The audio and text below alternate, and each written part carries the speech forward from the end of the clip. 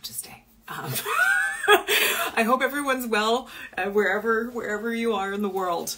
Okay, here we go. Ready, everybody? Tuck in, um, and uh, and I, I will I will start this, and then I'll, I'll answer some. Sorry, my connection got wonky. Um, yes, uh, stay on if you want to uh, talk a little bit. So this will take about 10 minutes. I timed it a little bit earlier. Okay, ready? Chapter 26. George heard the rain fall throughout the restless night, a soft, absent minded rain that would bathe his garden and feed it and not pummel it into the ground.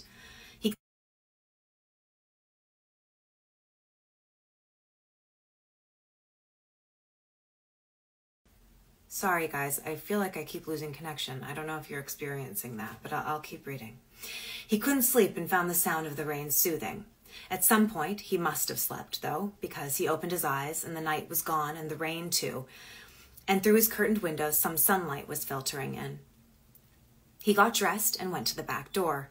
He put his gnarled hand around the worn round the worn round knob and looked fixedly at the door not seeing its yellow paint, slightly greasy from six months' accumulation of grime, not able to move, trying hard not to let the moment overwhelm him. Then he turned the knob, pushed the door open, and walked out for the last time into his garden. He saw the clouds were fleeing quickly. Those too close to the sun were shriveling into nothing, burning away, and soon the sky would be quite clear again. George stood on his still damp grass and watched steam rise from the garden. He touched the marigolds and stroked the petals of the roses and laid his cheek against a hydrangea blossom and cut a big bunch of sweet peas and wished he could pick a zucchini, but there weren't any yet. He spent considerable time outdoors, inspecting, admiring, approving. He was aware of stirrings and rustlings, fragrances, glorious splashes of color. He heard birds arguing in the arbutus tree and noticed a new influx of aphids on the roses and saw that the tide had left new driftwood on his beach. He didn't know how to say goodbye to his garden or to tell it that he loved it. He went back into his kitchen, put the sweet peas in water, and made himself some coffee. He got a notepad and a pen from his desk in the den, a room he had used scarcely at all since Myra's death and sat down in his leather chair with his coffee to make a list. He had a lot to do today. It took him half an hour to make the list. As soon as it was complete, he looked at the first item library books. He would work his way down from the top. That was the sensible way of doing things. Wilcox here. She was ridiculously relieved to hear his voice, even though it was curiously dry and remote. Mr. Wilcox, it's Cassandra. I'm calling to check up on you. I, I hope you don't mind. How's your chest? Did you sleep well? Are you feeling better today? She got it all out in a rush and waited anxiously for him to reply. Cassandra? He sounded amazed. Where are you calling me from? The library? Yes. How are you? May I come to see you? I was worried about you yesterday. I'd like to make sure that you're all right. You were the first thing on my list, he said. It must be an omen. There are some books I have to return, you see. The only thing is, I don't think I'm going to. I don't think I'm up to making the walk. Then I'll come by and get them, said Cassandra. All right? May I come? Sure.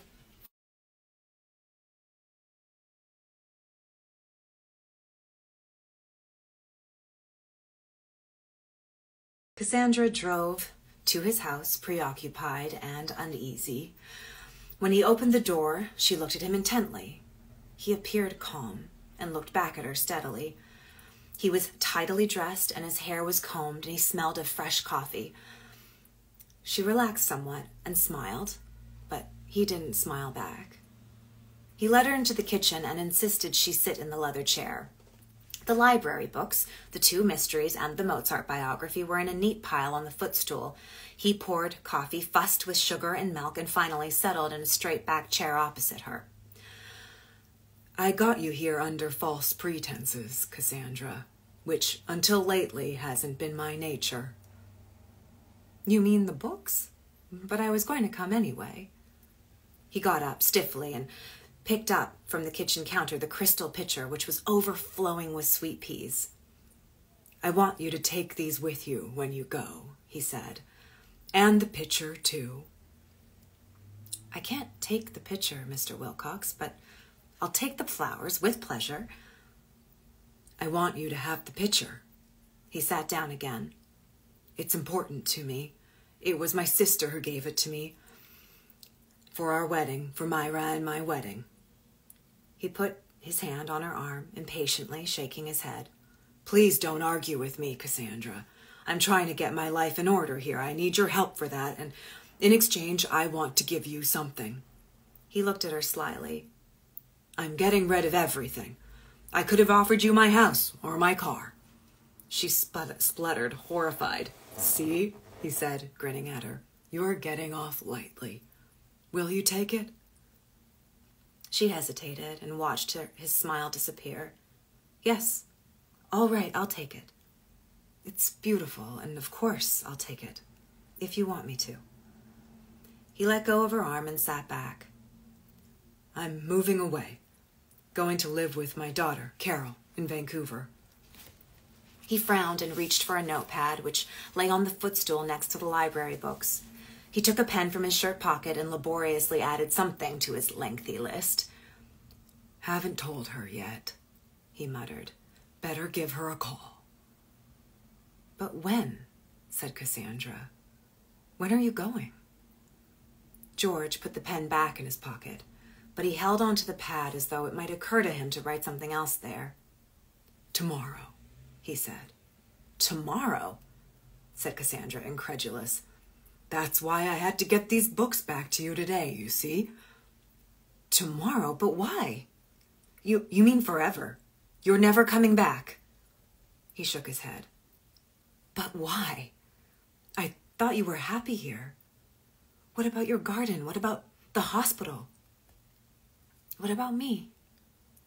Her voice had risen and tears were pushing at the backs of her eyes.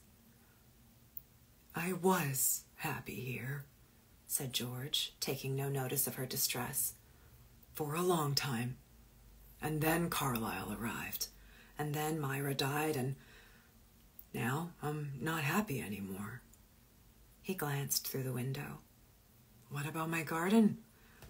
That depends on who moves in here, I guess. He turned back to her.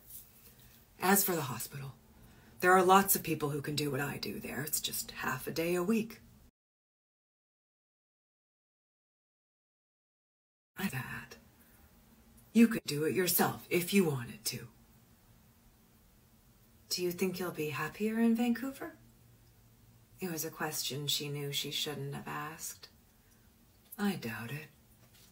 He leaned toward her, his hands grasping his knees. The thing I can't stand the thought of, Cassandra.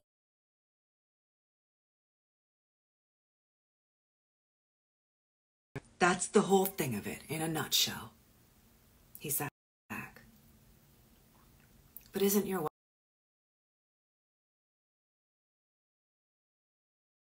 wife? He sat unmoving for a moment. His eyes were dry. Yes, she is. I could get up and leave right now, thought Cassandra. I could get up gracefully and kiss him on the cheek and take the picture and the sweet peas and the library books and warmly wish him well and just leave. Walk right out to my car and drive away, and he wouldn't think less of me for doing it either.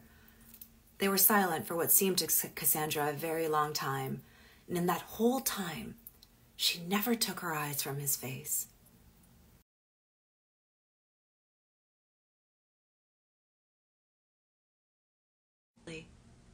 even though he's dead now. Because I killed him, said George. Cassandra felt very strange. She heard herself breathing.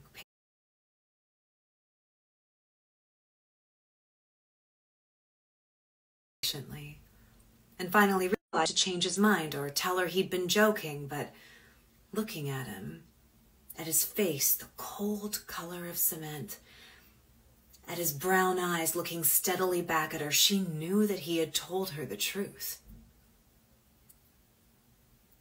It's a bad thing I'm doing now, I know it, said George.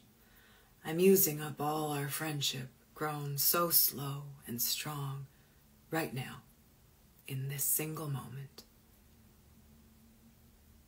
that I'm letting you do it, said Cassandra numbly. I'm not asking you to keep this a secret, he said. I don't care if you tell anybody or not, or who it is you tell but I had to say it to somebody, and I knew I'd only be able to say it once. And you're the only person came to my mind. Why did you do it? she said after a minute.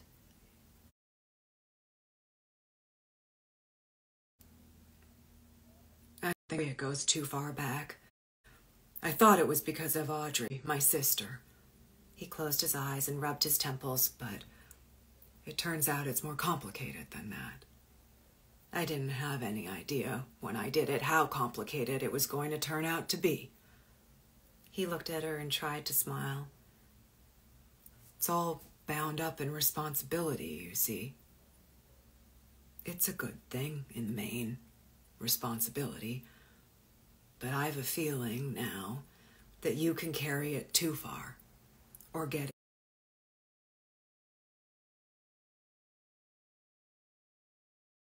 all wrong. And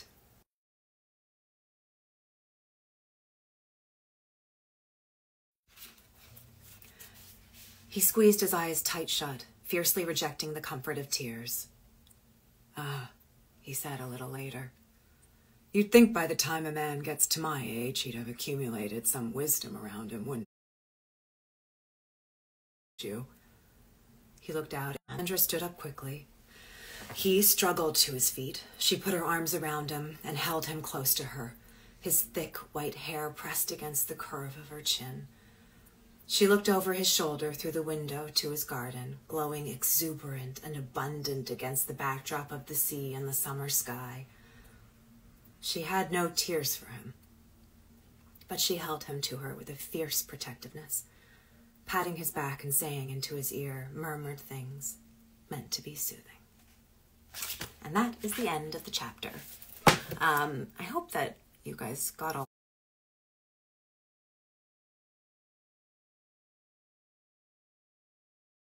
that, those of you who stuck around for all of it. On the Instagram discussion area, I'd be curious to hear your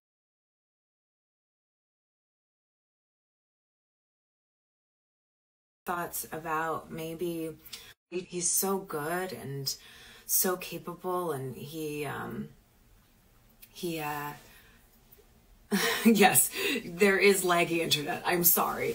Um, he he's just an incredible person, and and I got a lot out of just talking to him. And the scenes were wonderful, and he was so um, he was so invested in making sure that the kind of connection between Cassandra and George was was strong, and I and I really appreciated that yes, I am an admirer of Sally Rooney's writing. I haven't read her new book yet, but I'm looking forward to it. I'm curious if anyone else has.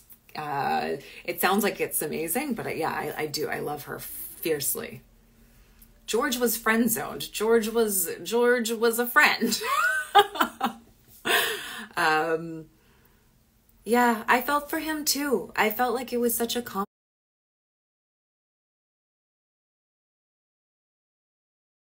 complicated. Um, my internet seems a little bit bad, but um, yeah, I, I felt terribly for him.